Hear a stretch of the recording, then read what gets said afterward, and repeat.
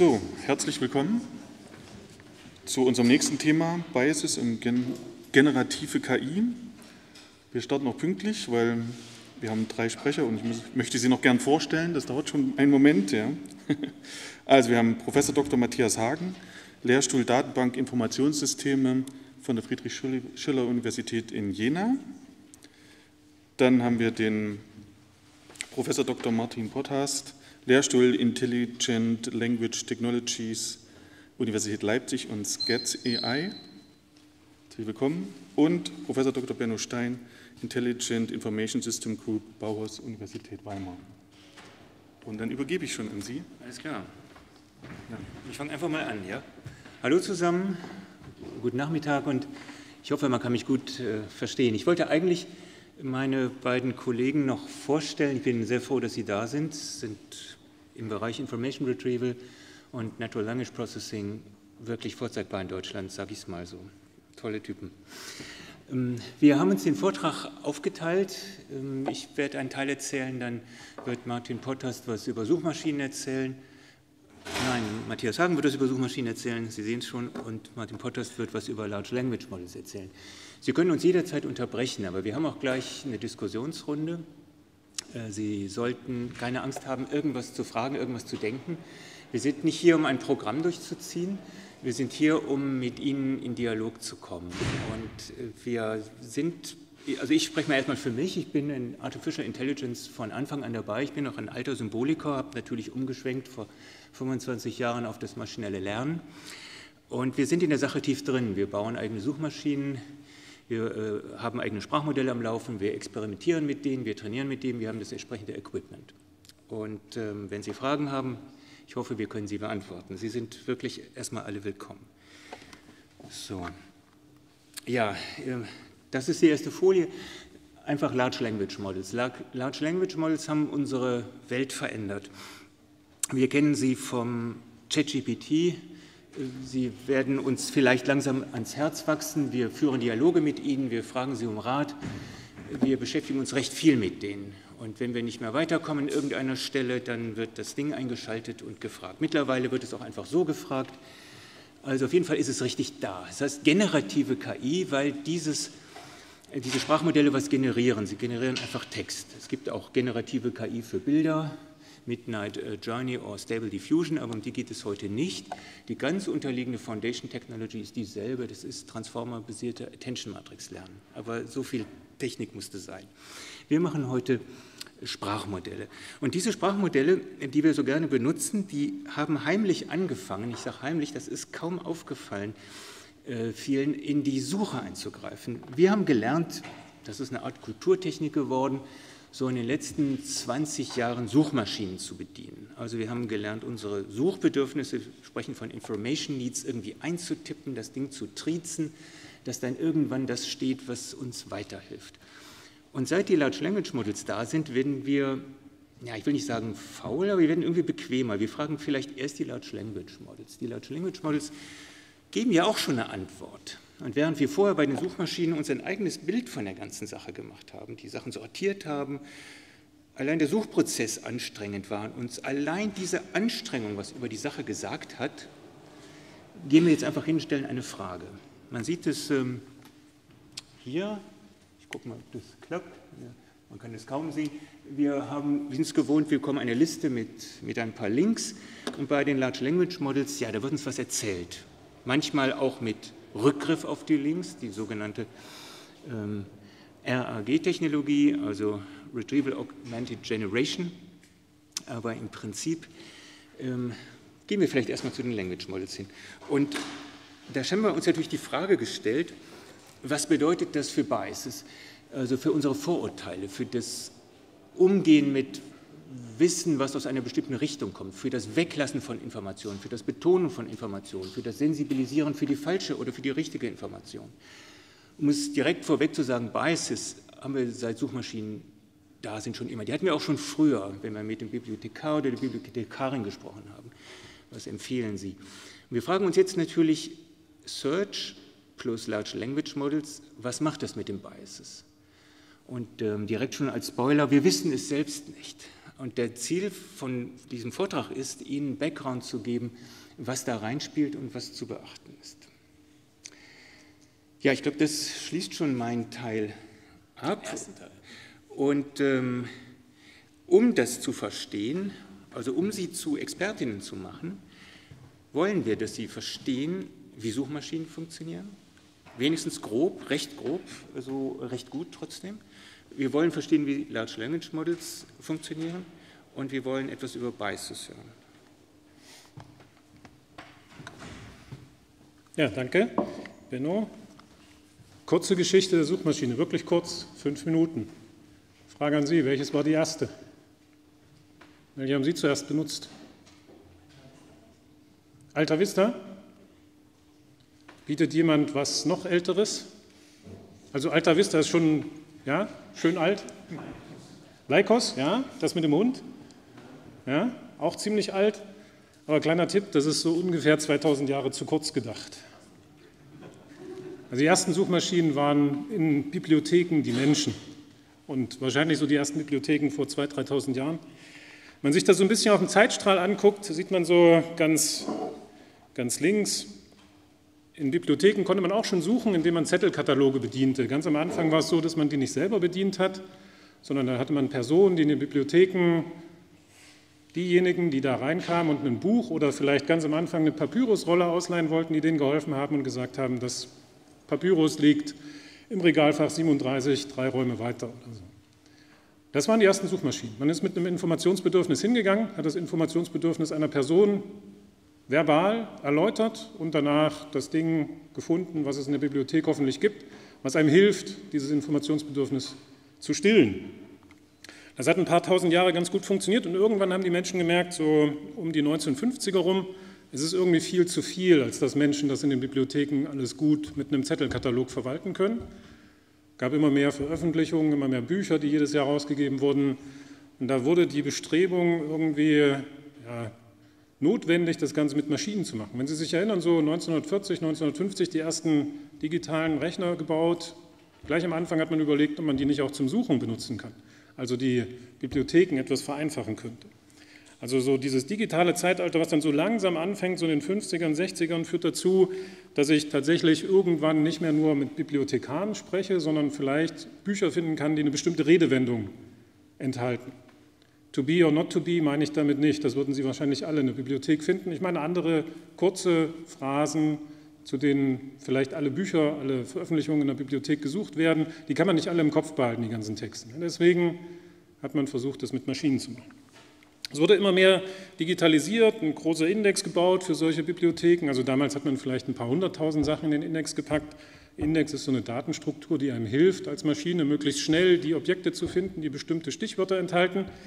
Und das hat dann dazu geführt, dass die Suchmaschinenanbieter, das waren alles Systeme für digitale Bibliotheken, darüber nachgedacht haben, ob man vielleicht ein bisschen sortieren sollte und wie man so eine Ausgabe irgendwie sortieren kann. Wir sind es ja gewohnt, wenn man irgendwie Alta Vista, Lycos oder die aktuellen Suchmaschinen benutzt, dass die irgendwie eine sortierte Reihenfolge von Treffern zurückliefern.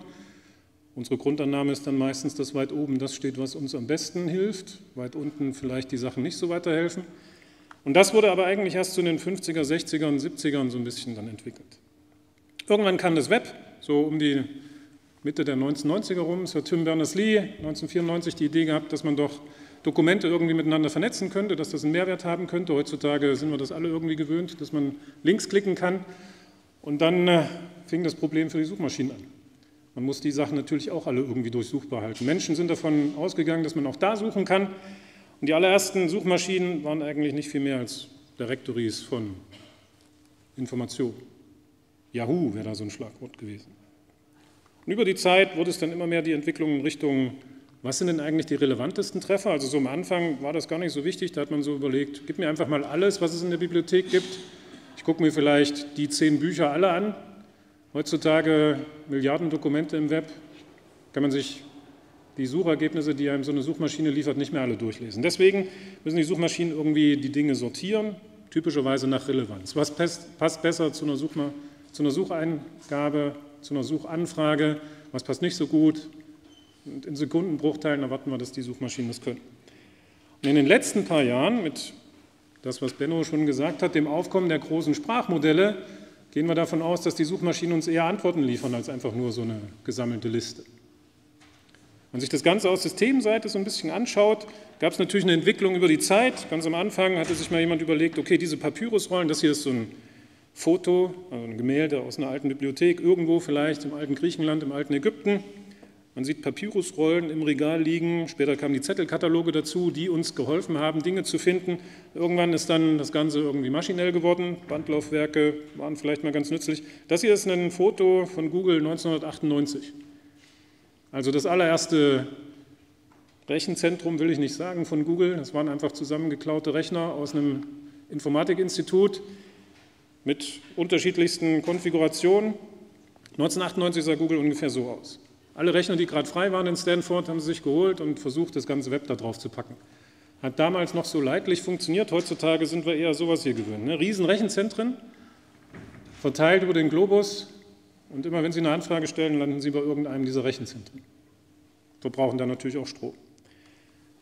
Aus Suchmaschinensicht hat sich also so einiges entwickelt. So das unten, also hier auf dieser Folie unten ist so die Systemsicht.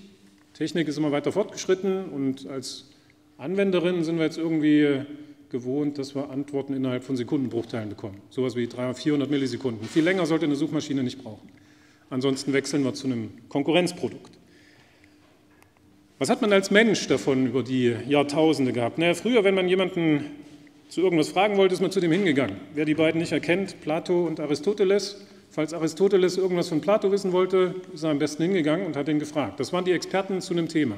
Heutzutage, wenn man mit einem Experten reden will, wie viele von Ihnen haben schon ChatGPT dafür benutzt, liegt nicht mehr ganz so fern. Ne? Also es gibt schon Leute, die sowas machen. Irgendwann ist man in die Bibliothek gegangen, hatte ich gesagt, da gab es vielleicht noch so einen Tresen und man hat von Mensch zu Mensch gesprochen, man konnte irgendwie erklären, was man wollte. Dann sind die Bibliotheken digital geworden, ziemlich hässlich. Das ist ein Zettelkatalog, in dem man suchen konnte, in dem man irgendwie in Felder diesen Zettelkatalog halt anbietet, so wie Autorname, Titel des Objektes oder sowas, vielleicht ein Schlagwort noch eingeben konnte.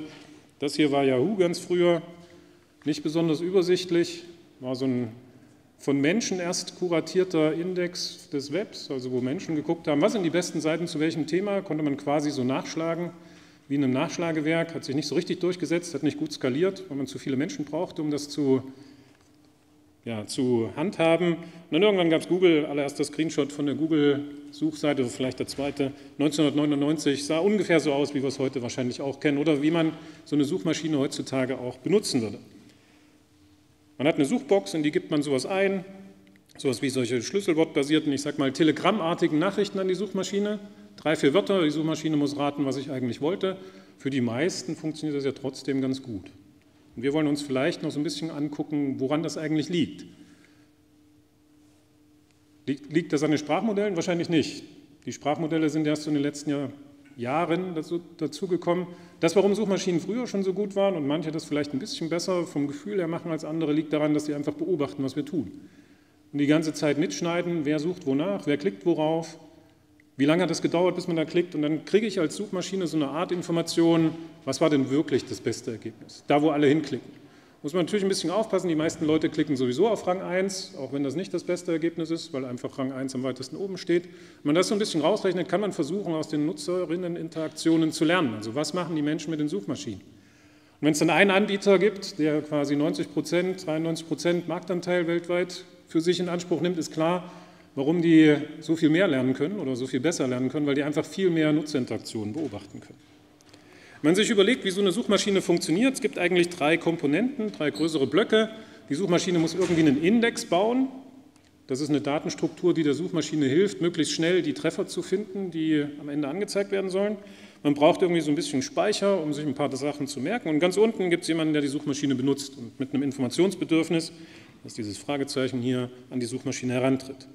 Wenn so eine Suchmaschine einen Index baut, dann versucht sie im Prinzip das ganze Web zu bekommen. Wir gehen mal davon aus, dass es eine Websuchmaschine sein soll. Und für den Fall, dass wir uns erstmal nur um Texte kümmern, versucht sie auch, die Texte aus den Dokumenten herauszubekommen und so eine Art Textanalyse zu machen. Also was sind die wichtigsten Wörter für so ein Webdokument? Das sind die Wörter, die da vielleicht häufig drin vorkommen, aber eben Wörter, die auch nicht in jedem anderen Dokument vorkommen. Dann kann ich versuchen, mit solchen Wörtern Dokumente gut voneinander zu unterscheiden. Das mache ich nicht nur einfach so, sondern als Suchmaschine merke ich mir das in so einer Datenstruktur, die wir Index nennen. Das ist einfach eine Liste, wo im Prinzip, kann man sich ganz grob so vorstellen, drin steht, welches Wort kommt in welchem Dokument wie häufig vor oder welches Wort ist in welchem Dokument wie wichtig. Das ist eine Art Repräsentation des Dokuments, nicht mehr unbedingt für Menschen gedacht, sondern einfach nur für Maschinen. Die zählen und gucken, was kommt wie oft vor. Jetzt haben wir aber noch keine Suchmaschine gebaut, sondern wir haben eigentlich nur den Teil der Suchmaschine entwickelt, den man sonst nicht direkt benutzt. Irgendwann kommt ein Mensch und sagt, ich würde gerne eine Anfrage stellen. Und die Anfrage wird von der Suchmaschine auch analysiert. In einer gewissen Art wird geschaut, welches ist denn das wichtigste Wort in der Anfrage. Hier in der ist es leicht. Da steht nur Query als Anfrage drin. Es gibt nur ein Wort, das scheint besonders wichtig zu sein. Die Suchmaschine versucht, aus dem Index alle Dokumente zu holen, in denen das Wort, in dem Fall Query, vorkommt. Englisch für Anfrage. Und mit so einem mathematischen Modell, wir nennen das Retrieval-Modell, zu bewerten, welches Dokument ist jetzt am wichtigsten. Die Dokumente werden dann irgendwie sortiert, also ein Dokument wird auf Rang 1 platziert, eins auf Rang 2, eins auf Rang 3 und mit diesem Zwischenspeicher, wo sich die Suchmaschine quasi das ganze Web gemerkt hat, wird dann ein Snippet angezeigt für jeden dieser Treffer. Diese Snippets sind wir auch gewohnt, dass die irgendwie zur Anfrage passen, dass zumindest hervorgehoben wird, was waren die Anfrageterme. Und das Gefühl, was man dann entwickelt, ist, da wo die Anfrageterme häufiger drinstehen, das scheint der relevante Treffer zu sein oder der beste. Oder heutzutage sowas wie, wenn Wikipedia recht weit oben steht, klicken wir halt da drauf. Ne? Das haben wir hier auch versucht so ein bisschen anzudeuten. Nebenbei ist das aber eigentlich nur eine ganz einfache Suchmaschine, sondern die Großen, die machen noch was ganz anderes. Die merken sich alles, was wir tun. Das ist das Wichtigste fast mit für die Suchmaschine. So eine Art Anfrage-Log, in dem mitprotokolliert wird, wer hat was wann gemacht und wo drauf geklickt. Und damit werden solche Sprachmodelle trainiert, über die wir gleich noch ein bisschen was hören werden. Und diese Sprachmodelle benutze ich, um das Ganze umzusortieren, um noch ein bisschen besser zu verstehen, vorgeblich, was man eigentlich mit so einer Anfrage meinte. Jetzt habe ich so ein bisschen schon über Sprachmodelle geredet. Ist vielleicht die Frage, was das eigentlich ist. Kann ich nicht gut erklären, das erklärt uns Martin. Danke, Matthias. Ja, Sprachmodelle. Wir fangen wieder am Anfang an und ich gebe eine kurze Geschichte der Sprachmodelle. Und wenn Sie sich fragen, was ist ein Sprachmodell oder wo kommen sie her, dann müssen Sie sich die Geschichte der Übersetzung anschauen. Wir fangen jetzt nicht beim alten Griechen an, die auch natürlich schon sich sehr viel mit dem Frage der Übersetzung auseinandergesetzt haben, sondern wir springen direkt ins Computerzeitalter mit dem Beginn der Computerrevolution 1950 und Ganz genauso wie die Informationssuche war zu dem Zeitpunkt auch schon die Frage, können wir mit Hilfe von Computern endlich die Sprachbarriere überwinden, eine zentrale Forschungsfrage. Die ersten Ansätze waren orientiert daran, wie Menschen Texte übersetzen, zumindest den, an den Hilfsmitteln, die dafür herangezogen werden, Übersetzungswörterbücher und Regeln, mit denen versucht wurde, die Syntax der Sprache entweder in einer Sprache oder in der Ausgangssprache und der Zielsprache für eine Übersetzung zu erfassen oder den, die Unterschiede zwischen, der Frage, äh, zwischen den beiden Sprachen. Es wurde sehr lange an verschiedenen Verfahren in diesem Zusammenhang geforscht und äh, auch durchaus Fortschritte erzielt, aber praktikabel war kaum eine Technologie, die nicht hochspezialisiert war auf spezifische Anwendungen. In den 80ern ist eine neue Ära dazugekommen, ein neuer Ansatz, um automatisch Texte zu übersetzen. Mit der zunehmenden Digitalisierung wurden natürlich auch viel mehr Texte äh, verfügbar, die es erlaubten zu analysieren, wie werden denn längere Phrasen anstatt einzelne Wörter häufig übersetzt. Und das Beispiel hier, also example-based oder beispielbasierte maschinelle Übersetzung, hat genau solche kurzen Phrasen aus Texten extrahiert, die häufigsten herausgezogen und damit dann einen bisher noch nicht übersetzten Text phrasenweise weiter übersetzt. Unter Rückgriff natürlich, wenn keine Beispiele vorhanden sind für bestimmte Phrasen, auf die klassischen Ansätze der regelbasierten Übersetzung. In den 90ern und insbesondere natürlich auch mit dem immer größer werdenden Web und den darin vorhandenen Daten und den Erkenntnissen außerdem von den Jahrzehnten zuvor insbesondere der, dem doch durchaus guten Funktionieren des beispielbasierten maschinellen Übersetzens, kam die, kam die Idee auf, dass man Sprache vielleicht modellieren könne mit Hilfe eines statistischen Modells, als eine Art statistischen Prozess, der einen Text entstehen lässt. Die statistischen maschinellen Übersetzungsmodelle oder in, in, im Kern die statistischen Sprachmodelle wurden erfunden und im Großen und Ganzen kann man sie definieren als eine Wahrscheinlichkeitsverteilung über Texten. Eine Wahrscheinlichkeitsverteilung, Entschuldigung für den äh, mathematischen Begriff, äh, sie erlauben uns, Sprachmodelle erlauben uns eine Frage zu beantworten, nämlich die Frage, wie wahrscheinlich ist es, dass irgendein Mensch, der diese Sprache spricht, einen Text, den ich vor mir habe, geschrieben haben könnte. Diese Frage kann ich mit Hilfe eines Sprachmodells beantworten, wenn das Sprachmodell gelernt hat, welches Wort mit welcher Wahrscheinlichkeit auf das nächste folgt. Gleichzeitig kann ich aber diese Modelle auch dazu einsetzen, einen neuen Text für mich generieren zu lassen. Ich kann Ihnen das mal plastisch zeigen. Wir haben eine Suchmaschine für ein Sprachmodell gebaut, die das Sprachmodell auch zeigt. Und schauen Sie sich hier mal das erste Beispiel an. I love my, Fragezeichen. Das Fragezeichen soll für genau ein Wort stehen. Und jetzt überlegen Sie sich mal, was, welches Wort würden Sie denn schreiben? Oder allgemeiner, welches Wort würden alle schreiben oder, die Mehrheit von ihnen oder eine große Zahl?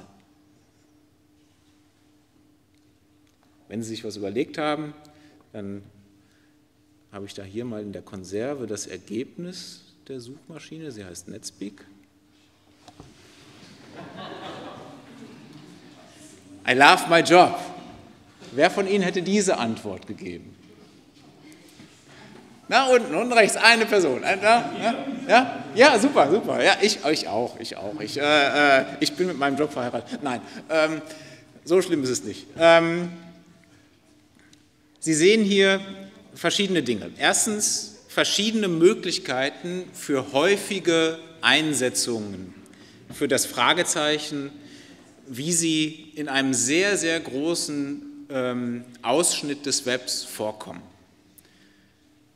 Dazu die absoluten Häufigkeiten und die relativen Häufigkeiten und zur Visualisierung dann das, was letztendlich eine solche Wahrscheinlichkeitsverteilung über diese Möglichkeiten des nächsten wahrscheinlichen Wortes nach I love my sein könnte.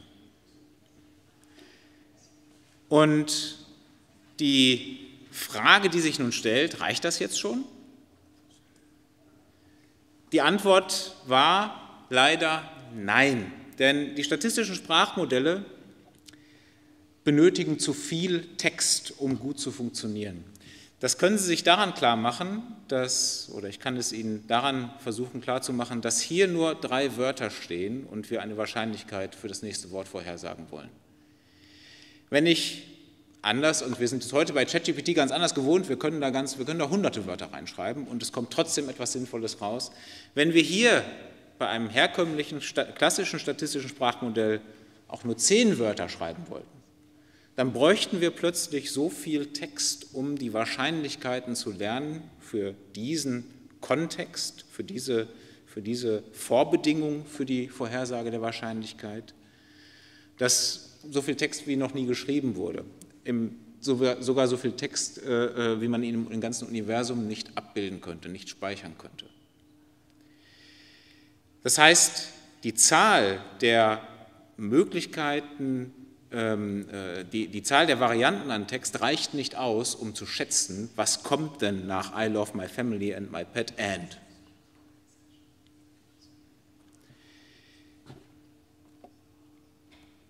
2015 wurden die neuronalen Sprachmodelle erfunden. Es wurde eine neue Technik erfunden, neuronale Netze, mit deren Hilfe man Sprachmodelle approximieren konnte, annähern konnte.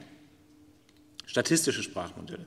Und der große Gewinn, den neuronale Netze geliefert haben, ist eine massive Effizienzsteigerung bei einer gleichzeitigen Effektivitätssteigerung. Hat man sehr selten denn man muss sich normalerweise Effektivität mit Effizienz erkaufen oder umgekehrt. Hier sieht man tatsächlich beides auf einmal. Ganz häufig hört man bei diesen neuronalen Sprachmodellen eine Zahl, die Zahl der Parameter. Und die Zahl der Parameter von ChatGPT und seinen Vorläufern bewegte sich im Millionen- bis Milliardenbereich. Und all diese Modelle, die es auch schon vorher gab, äh, bevor ChatGPT dann Furore gemacht hat, haben schon recht gut Text erzeugt, bedeutend besser als die statistischen Sprachmodelle es vorher vermochten, äh, viel kohärenter, viel konsistenter und so, dass Menschen sie lesen könnten. Diese Parameter sind im Prinzip die wahrscheinlich entsprechen ungefähr den Wahrscheinlichkeiten, denen auch, äh, die, die, man auch mit, bei einem herkömmlichen statistischen Sprachmodell errechnen muss. Äh, allerdings ähm, berechnen sie diese Wahrscheinlichkeiten äh, für, äh, äh, gleichzeitig für einen viel kürzeren Kontext und erlauben, die neuronalen Netze erlauben so eine bedeutend bessere Vorhersage. Wie funktioniert nun GPT? OpenAI hat äh, angefangen, GPT-Modelle, Varianten dieser Modelle zu, äh, zu, zu, trainieren. Das haben wir hier gesehen auf sehr großen äh, Massen von Text, allerdings nicht so groß wie das ganze Web, nur rund 720 Gigabyte. Wenn Sie ein äh, GPT trainieren wollten und in dem Fall das ChatGPT, bräuchten Sie äh, eine Zahl von 175 Milliarden Parameter. Das ist erstmal noch äh, äh, das ist eine relativ große Zahl und äh, um ein solche großes neuronales Netz zu trainieren, brauchen Sie insbesondere ein großes Compute-Cluster mit 1024 Grafikkarten und einen nicht zu kleinen Geldbeutel, denn Sie brauchen noch 4,6 Millionen Dollar alleine für das Training, nebst dem ganzen Personal, das in der Lage ist, das auch zu tun. Das, hat, äh, das ist schon 2020 geschehen, das Training. GPT-3 wurde, war das Ergebnis und GPT-3 wurde optimiert darauf, Fragen zu beantworten. Allerlei verschiedene Fragen, Typen von Fragen, Fragen, die Weltwissen beinhalten, äh, zum Beispiel, ähm, was ist die, äh, welche Stadt ist im Nordwesten Ohios, Toledo, Allgemeinwissen, warum haben Tiere äh, nicht drei Beine, weil sie sonst nicht vernünftig stehen könnten. Oder auch Logikrätsel zu beantworten. Es hat sich allerdings in der Praxis gezeigt, dass das reine Beantworten von Fragen nicht ausreicht. Die Menschen wollen etwas mehr. Sie wollen mit, den, mit, mit einem Sprachmodell eher Informationen austauschen, in einen Dialog treten. Und es ist nicht nur ein Frage-Antwort-Spiel, das hinreichend ist, um äh, die eigenen Bedürfnisse, die eigenen Informationsbedürfnisse äh, zu befriedigen. Man möchte auch mal Rückfragen stellen. OpenAI ist hergegangen und hat dieses, diesen Wunsch aufgenommen und äh, ein sogenanntes Instruct-GPT trainiert, auf Basis von einer bedeutend kleineren Menge von Beispielen, von nur ungefähr 48.000 äh, Stück, die ähm, von Menschen erzeugt wurden und Beispiele für Instruktionen enthielten. Schreibe einen Text, schreibe diesen Text um oder schreibe ein Essay über folgendes Thema oder, oder, oder mit guten Antworten. Und daraufhin wurde das Modell noch weiter feinjustiert, gefeintuned. Auch dieses Modell war noch nicht praxistauglich genug. Denn äh, wie sich herausstellte, waren die Gespräche mit diesem Modell doch etwas innervierend für die NutzerInnen. Einfach dadurch, dass das Modell doch, sehr, äh, doch manchmal recht herablassend war oder in gewisser Weise, in anderer Weise äh, äh, nicht ähm, ja, äh, ein guter Gesprächspartner. Zuletzt wurde also noch ein sogenanntes Alignment vorgenommen und ChatGPT 3.5, also InstructGPT, nochmal weiter getuned mit einer Reihe weiterer Beispielen und sogenannten Guardrails ausgestattet, das heißt ganz spezifischen Anweisungen, wie sich wie, sich die, wie die Antworten strukturiert sein sollen, wie sich das Modell in Anführungszeichen verhalten soll gegenüber seinen Gesprächspartnern, seinen menschlichen Partnerinnen. Es soll nett sein, es soll hilfreich sein, es soll äh, nicht herablassend sein, wenn man etwas nicht richtig weiß oder falsch gesagt hat und so weiter und so fort. Es soll einfach ein guter Gesprächspartner sein. Das größte Problem, was hierbei vorliegt, dass man im Prinzip nicht hineinschauen kann. Bei Google hat man zumindest noch ungefähr eine Chance zu wissen, welche Daten reingehen, das ganze Web. Man kann auch andere Suchmaschinen hernehmen und sie herausholen. Und welche Daten äh, äh, Google aufzeichnet, ist äh, hinlänglich bekannt. Man weiß ja selbst, wonach man sucht. Aber ähm, an dieser Stelle sind wir jetzt an einem Punkt, wo wir quasi nicht mehr in das Modell hineinschauen können. Und es gibt drei Stellen, an, der, an denen es Probleme gibt und an denen wir eigentlich mehr Offenheit benötigen. Das ist einerseits die Datenquelle, Andererseits die Art und Weise, wie dieses Modell ähm, zugeschnitten ist, denn auch hier kann es eine Quelle für Probleme geben, oder auch welche Guardrails zutreffen, denn ob sie mit all unseren Werten wirklich einhergehen oder nur mit den Werten von OpenAI, das ist eine ganz andere Frage. Und an der Stelle leite ich dann zu Benno über, der genau zu diesem Thema dann noch weiter ausführt, zu den Biases in diesen Daten. Danke, Martin. Viel werde ich auch nicht mehr erzählen. Die größte Überraschung für mich, als wir uns intensiv mit den Modellen beschäftigten, war, wie wenig Daten hier sind. Ja. Und wenn man aus wenig Daten lernt, ist natürlich die Manipulierbarkeit extrem da. Es ist auch interessant zu wissen, welche Regeln hier unten befolgt worden sind. Wir sehen das als Sources from Bias und die Frage ist, was sind Bias eigentlich? Und hier möchte ich ein bisschen weiter ausholen, weil ich finde, Bias, das Wort Bias gehört zu den Worten, die am meisten ja, missverstanden werden, würde ich nicht sagen, aber die es die verschiedensten Überlegungen gibt. Und wenn Sie professionell, sage ich mal gerne, über Bias sprechen wollen, dann, dann sagen Sie erstmal, hi, welchen Bias meinst du denn? Ähm, es ist ganz klar, Bias kann statistisch gesehen werden, zum maschinellen Lernen gesehen werden, das ist der induktive Bias, und den, der oft gemeint ist, der kognitive Bias. Die Unterscheidung ist wichtig. Im statistischen Bias, da wägt man ab Konsistenz, also Erwartungstreue, gegen Effektivität. Wie gut ist eine Schätzung? Und tatsächlich, es gibt viele Situationen, zum Beispiel die Obergrenze einer Gleichverteilung zu schätzen, da ist der Bias, der verzerrte Schätzer, effektiver als der konsistente Schätzer. Das heißt, der Bias bringt uns näher an die Wahrheit. Bias war oder ist auch nicht unbedingt etwas Schlimmes. Es heißt einfach Vorannahmen über etwas. Wenn man in den zweiten Bereich reinguckt, Inductive Bias, das ist, sind Abkürzungen, die wir im maschinellen Lernen verwenden. Wenn wir sowas wie ChatGPT trainieren wollen, dann gibt es ja diese Milliarden Parameter, dann kann man sich überlegen, dann gibt es Fantastilliarden Parameterkombinationen. Und natürlich kann man die nicht alle ausprobieren. Man hat also bestimmte Teile vom Suchraum, die man gerne besucht. Das ist der Bias bei Machine Learning. Ohne den geht es gar nicht. Die Theorie des Machine Learning ist eine Theorie des sogenannten Inductive Bias. Haben wir nicht erfunden, das ist schon immer so. Wenn wir jetzt zum kognitiven Bias kommen, das ist schon etwas, was uns vielleicht viel mehr betrifft und was Sie vielleicht auch kennen. Kognitive Biases sind unsere Vorteile im täglichen Handeln. Das kann man nicht lesen, ich mache es gleich etwas größer. Cognitive Bias ist, wenn ich zum Beispiel, das, ähm, vielleicht können Sie die, diese Zahlen hier, äh, diese Buchstaben hier lesen, wenn man zum Beispiel zu viele Informationen hat und schnell was rausgreifen muss, was nimmt man? Oder wenn man eine Sache nicht versteht, dann fängt man an, sich eine Wahrheit zu erfinden.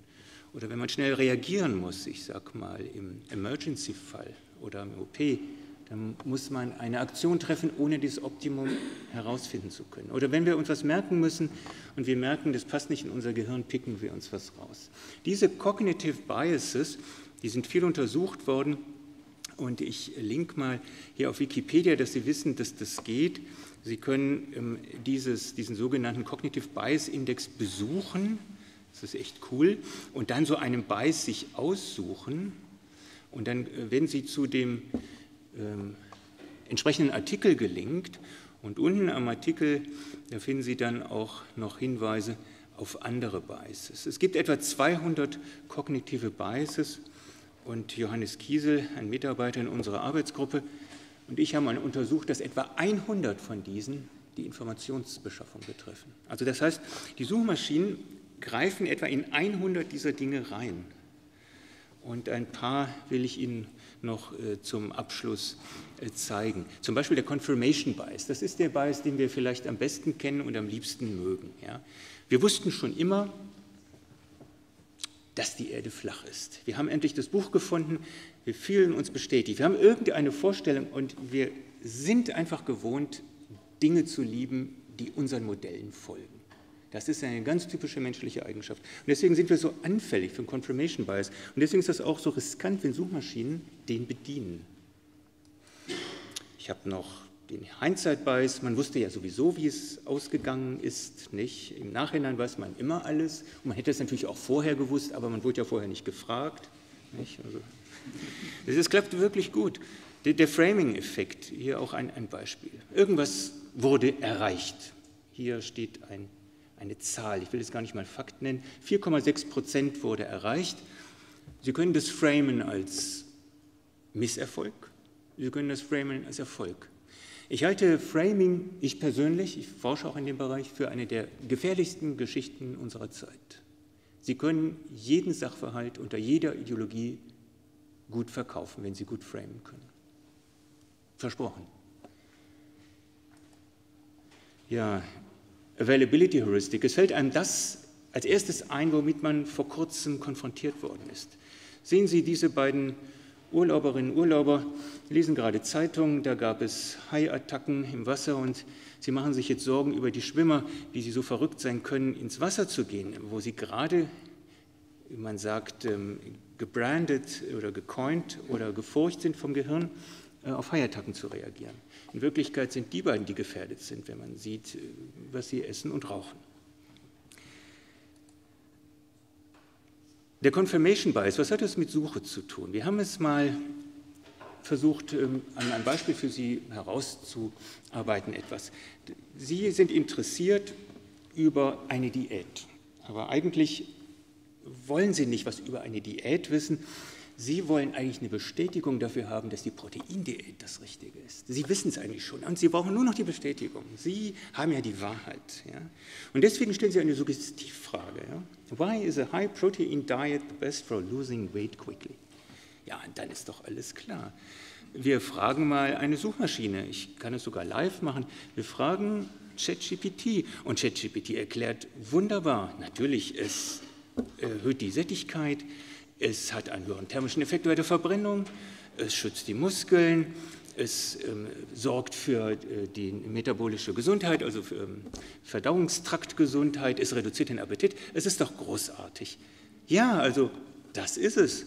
Man, die richtige Diät ist die Diät mit ja, Protein.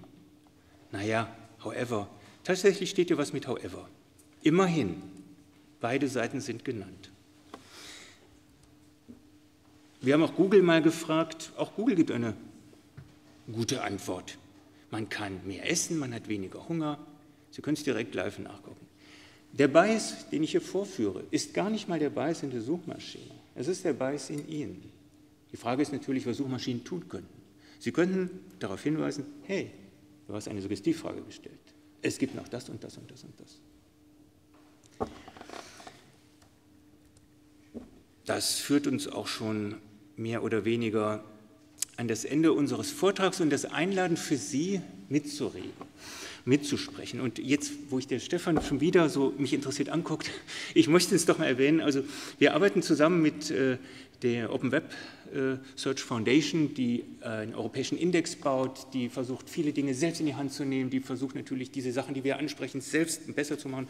Und der Stefan Folgt ist äh, nicht nur Ihr Sprecher, ist Ihr Gründer, Ihr Vorstandsvorsitzender und Ihr Geschäftsführer. Und es ist prima, dass du hier bist und dass wir forschen. Ich wollte es einfach mal sagen, wir haben das auf dem Blick.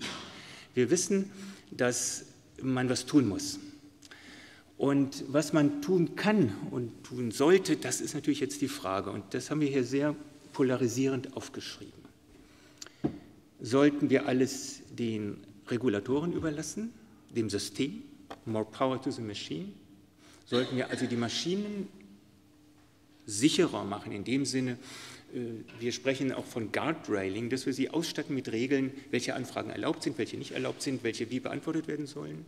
Das hat den Vorteil, das kann man effektiv durchsetzen, auf allen Suchmaschinen direkt verbreiten. Man kann es per Gesetz einfordern, man kann es standardisieren oder man kann vulnerable Gruppen gut erreichen. Oder sollten wir auf der anderen Seite sagen, wir setzen auf Subsidiarität, auf eigenes Können. Auch dafür gibt es Informatiktechnologie. Zum Beispiel hätte, wenn man eben den Dialog gesehen hat, also es war ja kein richtiger Dialog, was ist die beste Diät mit Protein und so, hätte die Suchmaschine ja sagen können, hey, Proteindiät ist eins, aber es gibt noch andere. Man könnte also, so die, die, wir sprechen davon, die Deliberation, also die ähm, Ausbreitung oder Erforschung eines Gebiets ein bisschen unterstützen. Man könnte zeigen, wie man Ergebnisse sortiert, wenn Sie die ersten zehn Ergebnisse sich angucken. Das ist sehr heilsam zu wissen, dass das die ersten zehn von einer Milliarde sind und dass auf den letzten tausend die Rankunterschiede so klein sind, dass es Zufall oder gekauft ist, was oben ist. Wenn man das weiß, ist man nicht mehr so happy mit auf dem ersten Link klicken. Und natürlich, wenn man eigene Suchindizes baut, so wie wir das machen, dann kann man natürlich auch noch Hintergründe dazu geben, äh, in welchem Umfang oder von welcher Zeit oder aus welcher Quelle die Sachen kommen. Also das ist der Punkt Provide Meter Information. Das ist erstmal alles, was wir heute äh, als ja, Teaser-Vortrag oder als Incentive äh, äh erzählen wollten. Sie haben ChatGPT, Sie haben ein Informationsbedürfnis. Wie gehen Sie vor? Was kann man tun? Wie sollen zukünftige Suchmaschinen aussehen? Also wenn ich eine Frage hätte und ich hätte eine Maschine, die mir die perfekte Antwort geben würde, meinen Sie, ich würde noch suchen? Ja, wie machen wir weiter? Ähm, wir haben nichts dagegen, nein, wir wünschen uns, Ihre Meinung zu hören. Also, wenn Sie sich angeregt fühlen, auch wenn Sie Fragen haben zu technischen Hintergründen. Sie können was ganz anderes fragen. Warum sind die statistischen Sprachmodelle denn weg? Sie sind ja gar nicht richtig weg. Sie werden nur neu berechnet. Alles dürfen Sie fragen und wir versuchen, Antworten zu geben. Erstmal herzlichen Dank von hier aus für Ihr Zuhören.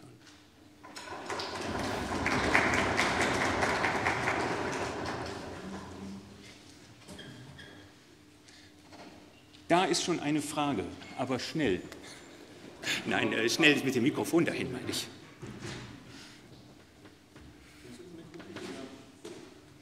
Du musst da einfach nur da stehen bleiben, dann, dann bist du auch im Mikro, weil online okay.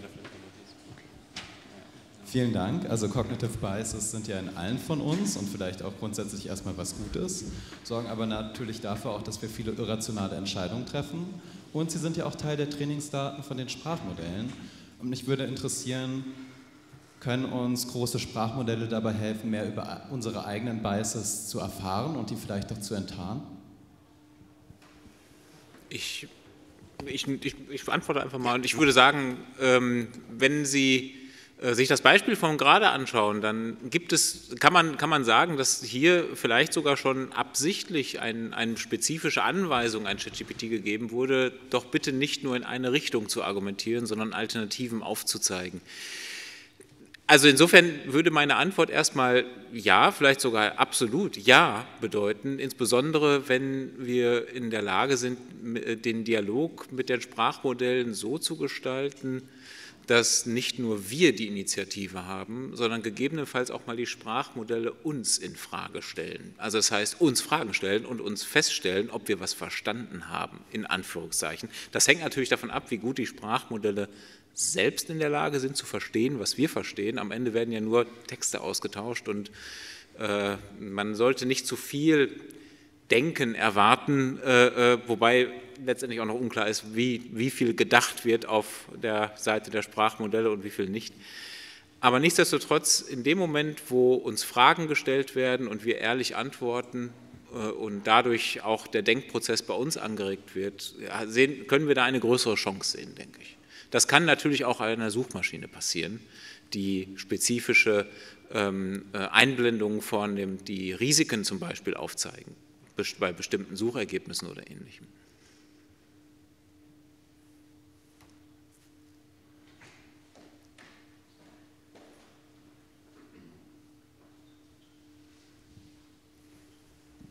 Ähm, Ja, ich hätte eine Frage zu dem Thema, ähm, wie, also ich versuche es mal so zu formulieren. Wir trainieren äh, ja quasi mit unseren Eingaben auch die Language Models, aber gleichzeitig trainieren ja die Language Models mit ihren Ausgaben auch uns, wenn man so will. Ähm, und was ich da interessant finde ist, ähm, gibt es denn da, also haben Sie da irgendwelche Considerations, irgendwelche Dinge, die Sie da beachten äh, in der Forschung oder in der Anwendung in Bezug darauf, dass quasi der Mensch sich ja auch immer dem anpasst, was ihm präsentiert wird und dass eventuell dann die erneut eingegebenen Trainingsdaten ja wiederum beeinflusst, sodass sich so eine Art Feedback-Schleife dann bildet, äh, die dann vielleicht in irgendeine bestimmte Richtung abdriftet, die aber irgendwann gar nicht mehr dem originalen, ja, sage ich mal, dem Vektor entspricht, der ursprünglich mal gedacht war, wenn Sie verstehen, was ich meine. Ja, also, also das Angenehme an Ihrer Frage ist, dass ich nur spekulieren brauche und äh, man die Antwort nicht überprüfen kann. Ähm, die Frage ist sehr gut, wir stellen uns die auch. Danke für diese Frage. Wir lernen zurzeit von menschengemachten Text. Das ist großartig. Der menschengemachte Text wird diluted, also wir sagen ausgedünnt, er wird verschwinden. Ich denke, es macht wenig Sinn, wenn wir nur noch maschinenerzeugten Text haben, daraus zu lernen. Es äh, wäre eine Art Zirkelschluss. Natürlich wird, ist er inspiriert worden von den Menschen. Das heißt, ähm, wir laufen in ein Problem äh, mit dem Lernen aus Texten, weil immer weniger Text da ist, der original ist. Das heißt, wir lernen im Endeffekt das, was wir, wenn wir es ins Extrem fassen, was wir reingegeben haben. Die Situation ist noch nicht da, aber die Situation zeichnet sich ab. Matthias. Willst du was dazu sagen? Stimmt natürlich. Nee. das kann. Ja. Ähm, ja. Ich, ich denke, natürlich wird, wird, der Mensch jetzt nicht das Denken einstellen unterwegs. Ähm, wie stark sich das auf die Bildung auswirkt, das wird sich zeigen. Das, das, es ist nicht, mehr ist nicht wegzudiskutieren, diese Technologie, denke ich. Und wie wir bei jüngsten Gesetzgebungen auch äh, oder dem Verhindern von Gesetzgebung, je nachdem, äh, äh, auch in Europa gesehen haben, ist es auch gar nicht wirklich gewollt, weil die Technologie auch umgekehrt sehr viel Potenzial hat. Das ist aber, aber um, abseits der politischen Dimension, ich, wie gesagt, die Menschen werden das Denken nicht einstellen. Und ich denke schon, dass auch bei vielen generierten Texten der kritische Geist noch vorhanden sein wird. Die Frage ist halt, wie divers ist das, was am Ende herauskommt und erlaubt es überhaupt noch, den Deliberationsprozess gegenüber verschiedenen äh, Quellen heranzuziehen? Wo können wir uns sicher sein, dass verschiedene äh, Menschen dafür gesorgt haben, dass ihre Botschaften gegebenenfalls auch durchkommen durch halb erzeugte Texte? Da, da, da, da fängt ja im Prinzip an, unser Lernprozess einzusetzen beim, beim Lernen über Unterschiede und Gemeinsamkeiten im Denken der anderen Menschen. Sind Sie, ne? Haben wir noch fünf Minuten? Okay. Ja, bitte weitere Fragen.